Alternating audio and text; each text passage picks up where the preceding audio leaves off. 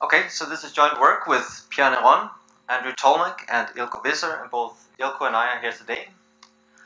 In this talk, we present a new and unifying approach to modeling binding and memory and semantic specifications. We call this approach Scopes Describe Frames. So why are we interested in modeling binding and memory and semantic specifications? Well, in an ideal world, language designers write down the semantics of their language once and for all and this specification acts both as a source of documentation, but also as a source for deriving tools from the specifications.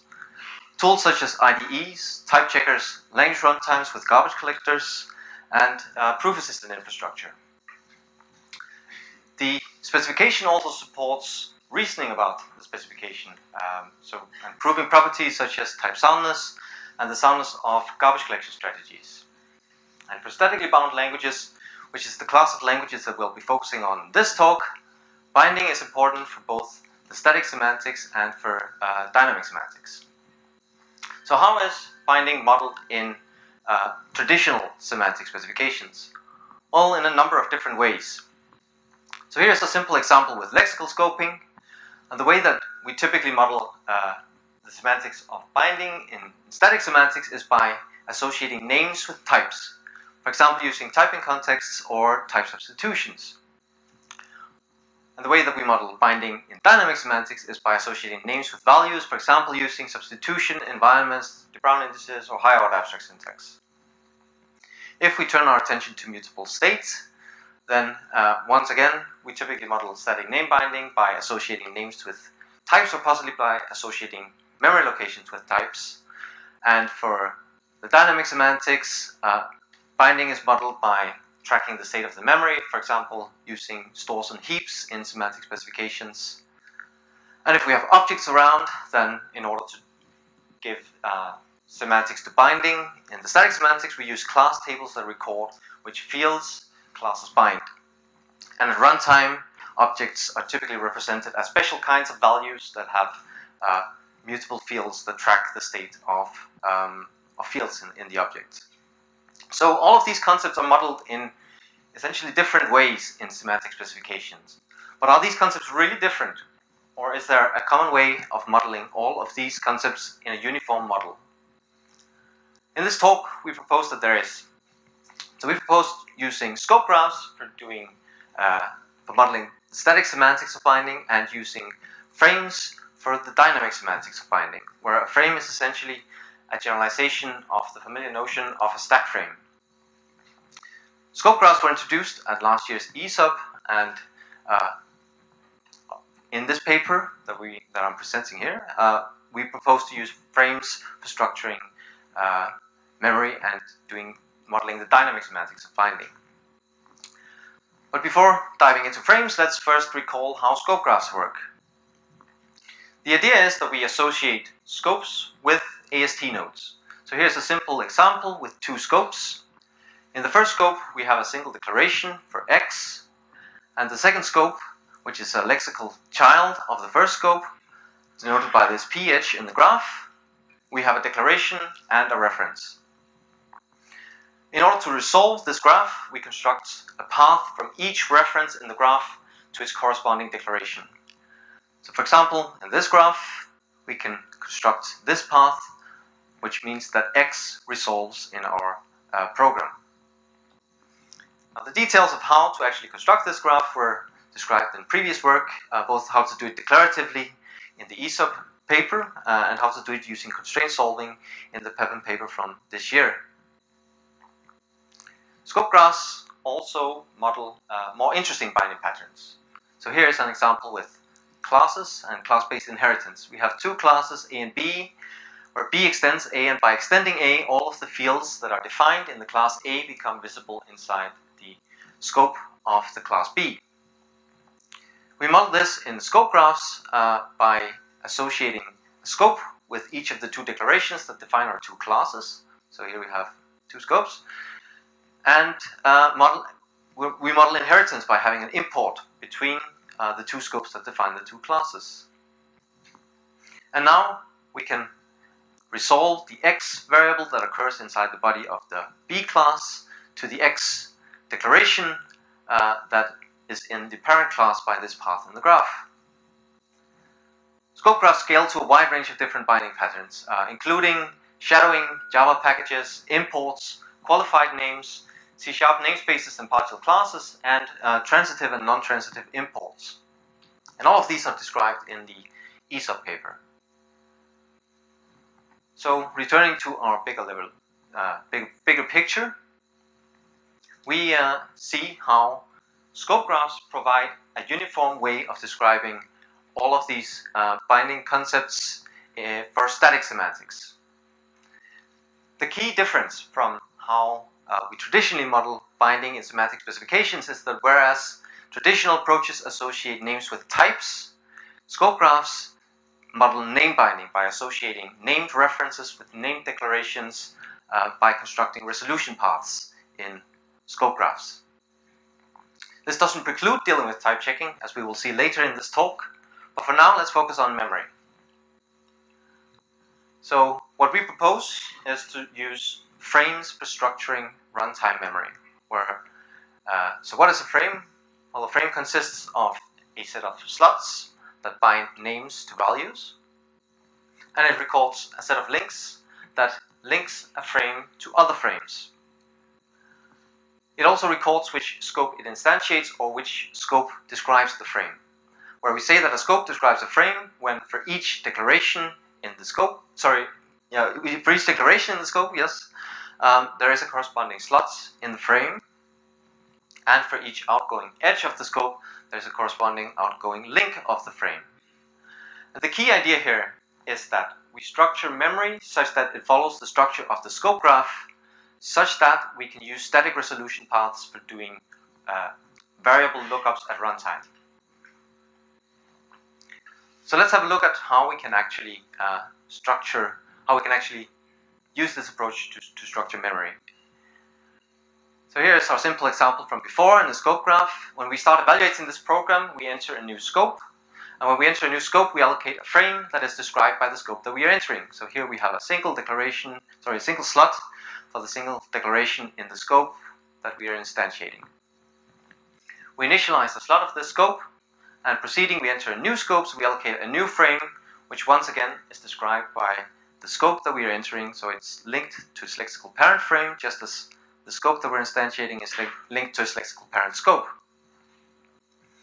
what happens next is that we're going to be dereferencing X, and here we can use the static resolution path uh, to dereference X by traversing the frame structure using the path, which looks up the, the value of X in the parent, uh, parent frame, making this the final state of the heap. A single scope may have multiple frames instantiating it at runtime, which is useful for modeling, for example, recursive functions. So here is a simple recursive function, namely the factorial function. And its scope graph is uh, in the bottom left of the slide. So when we evaluate this program, well, we enter a new scope, so we allocate a frame. We initialize the slot of this frame to bind uh, the function that we're defining, and we call the function. And when we call the function, we enter the function scope, which allocates a new call frame or a stack frame, if you will, or activation record. Um, so this is how a frame is really just a generalized notion of a, of a stack frame. So it also corresponds uh, exactly to the scope that describes the uh, function. So it has a single slot for the single declaration that the scope defines. Proceeding with evaluation, we can now use, uh, we can now evaluate the body of the function where we Again, dereference each of the variables that occur in the function by using the static resolution paths for each of the references in the scope graph to do uh, the, the lookup at runtime. So proceeding with evaluation, uh, evaluating the body causes a new recursive call, so we allocate a new call frame so that we now have two frames that instantiate the same scope. Uh, Important is that for each of the frames that are in our heap at this uh, point in time, they're all described by their corresponding scope in the scope graph, which means that when we evaluate the body of the function once again, we can still use the static resolution paths for doing uh, lookups at runtime. So the result of evaluating the, the body of the function is a final recursive call, which makes this the final state of the heap. So frames can be used to model uh, lexical scoping and function calls, and it does so by modeling everything as memory. Uh, this provides us with a uniform way of doing name resolution both uh, in static semantics and at runtime. But what about objects? Well, objects also fall into this pattern. So here is a simple class and its use, and a scope graph in the bottom of the slide. When we evaluate this program, or when we enter a new scope, we allocate a new frame. What happens next is we're going to be instantiating a new instance of a class, sorry, yeah, a new object that instantiates the class A. And how do we rep represent this? Well, it is also just a frame. And in particular, it's a frame that is described by the scope uh, that defines the class. So it has a slot for each of the declarations that are in the class scope that defines the structure of the class. So frames can be used to model uh, both lexical scoping, function calls, objects, structured memory objects, um, and it provides a uniform way of modeling all of these concepts that are traditionally modeled in different ways in semantic specifications. So a key characteristic of our approach is that we model memory at a concrete level that roughly corresponds to how realistic language runtimes actually structure memory.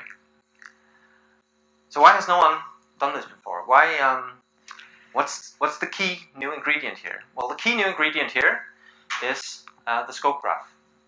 By structuring memory such that it follows the structure of the scope graph, we can use static resolution paths for doing uh, lookups at runtime, such that we have strong static guarantees that these lookups are guaranteed to succeed and also yield something that is actually uh, well typed. So this is not only elegant, it's also very useful for verification. So let's consider more formally what it means for a scope to describe a frame. So we've actually already seen this, and what we've seen is what we call the well-bound frame invariant.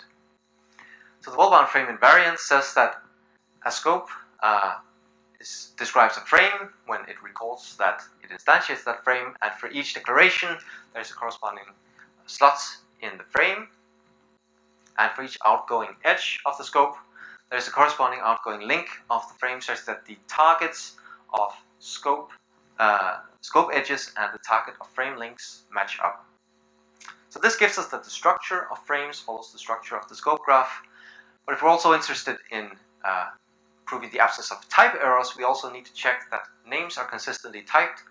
So we introduce the well-typed frame invariant, which says that we associate uh, types with each declaration in the scope graph.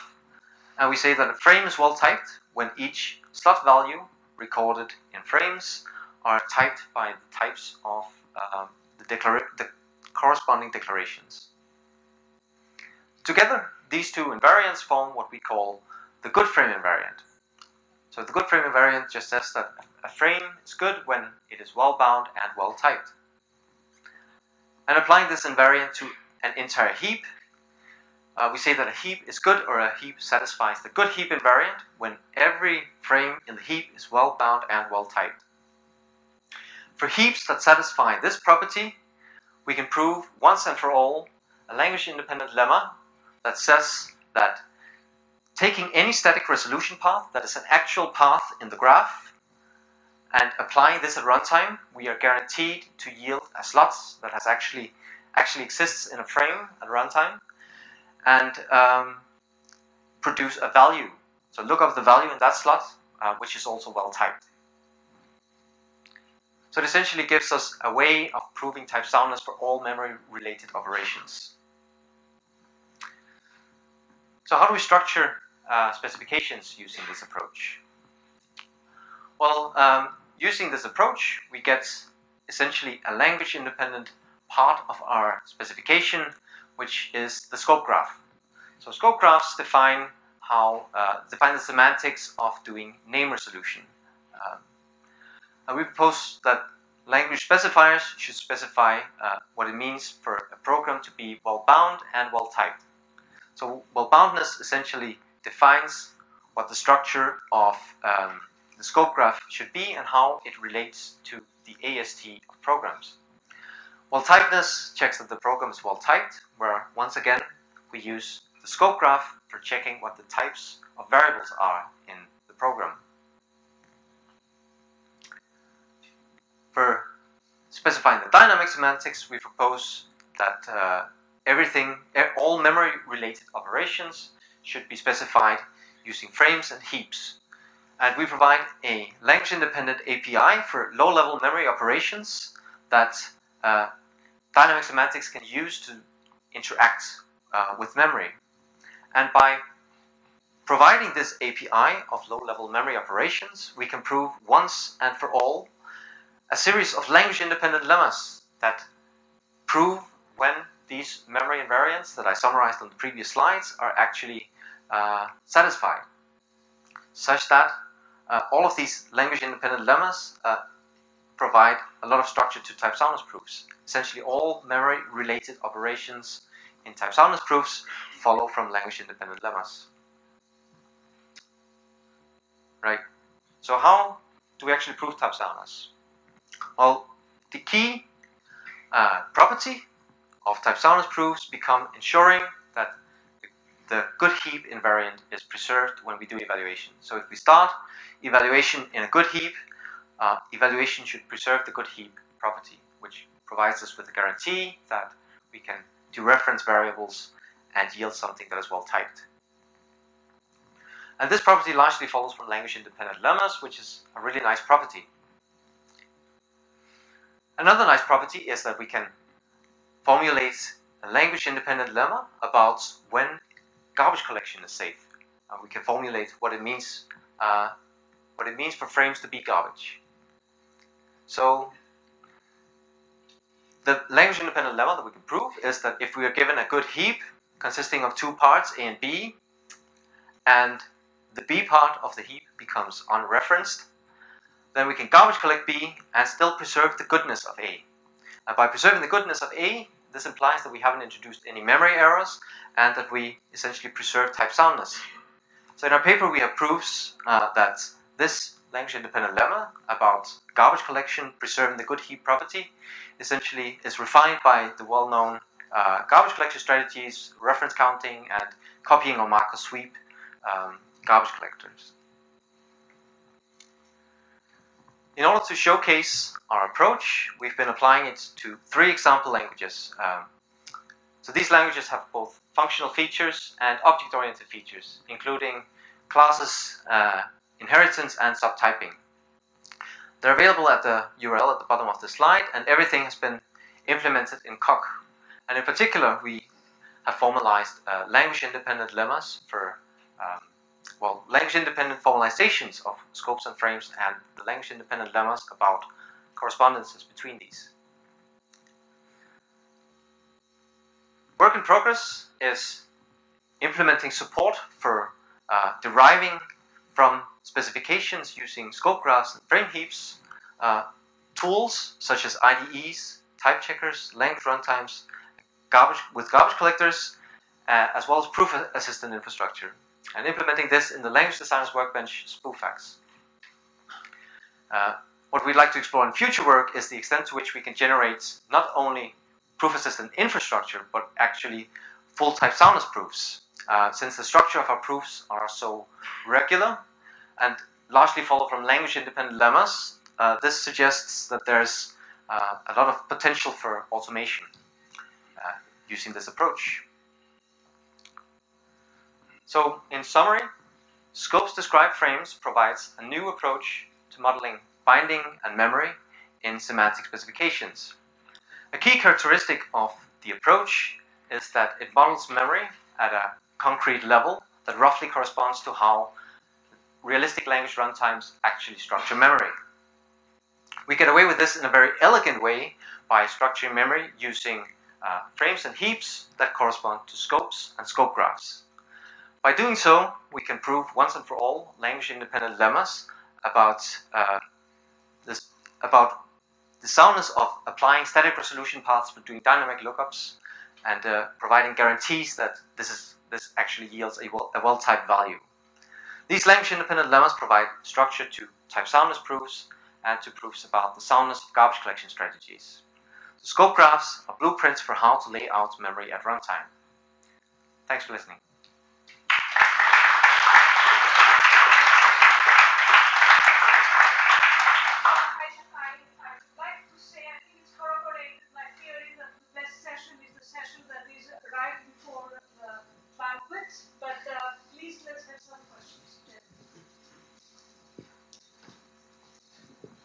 Uh, very nice work. Uh, I really like this idea of separating out the language independent stuff from the language dependent stuff. Um, exactly how good that is depends on the percentage. And so in these case studies, what was the percentage of the proof work that became language independent versus the stuff that's still language dependent, right? So if I'm using your tool, I, I want to know just, are we talking 5% or 95 or what, somewhere in the middle? Yeah. You, can, you can count that, right? You've got the proofs. We've got the proofs, and uh, I, I could load up the cockpit. Go go count them. yeah. Okay. This is so important information. Yes. Uh, so we haven't counted it, but all of our proofs uh, are essentially, uh, well, the most complicated ones are apply this lemma and uh, well, do case case distinction on on the facts that follow from this lemma.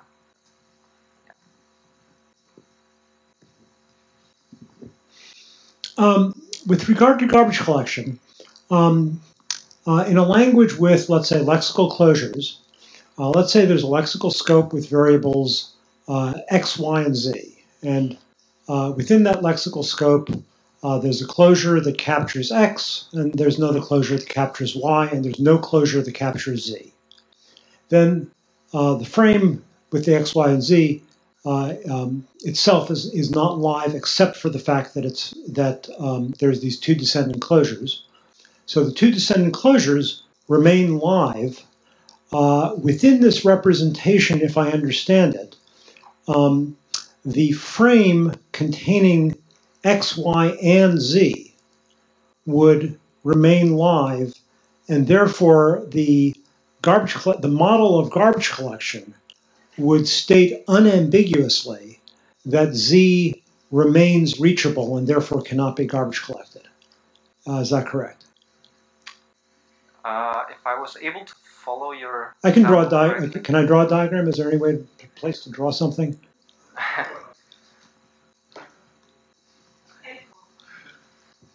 So you're saying you have a closure with those three variables in them? And well, no, the, the, the, closure defined in a scope that had those three variables, but only x and y are captured by the closures.